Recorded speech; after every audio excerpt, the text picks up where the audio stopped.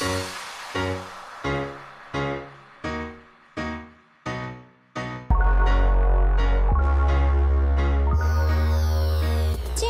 的维娟和演员罗仁友之间的互动在韩网上引起了热烈讨论。只见同属 Cube 娱乐旗下的两人日前一同挑战了维娟的新歌舞蹈。影片中两人穿着休闲的服装，跟着音乐舞动。之后当音乐接近尾声时，罗仁友还将自己戴的墨镜递给了维娟，并一起摆出了可爱的姿势。